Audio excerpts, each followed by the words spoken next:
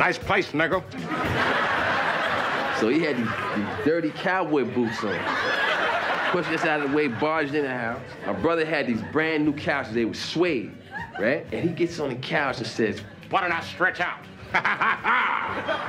and just started grinding mud all into the couch, man. I never just did things just to do them. Come on, I mean, what am I gonna do? Just, just all of a sudden just jump up and grind my feet on somebody's couch like it's like it's you know something to do. Come on, I got a little more sense than that.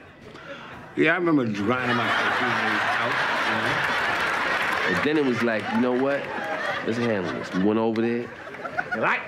Hey, my leg. Oh, and we held him down and we just wailed on his legs. Ah! Ah, you darkness, you black midnight evil motherfucker, black magic. You were cold as ice. But still, Rick James, even after taking a beating like that, Fuck your couch, nigga.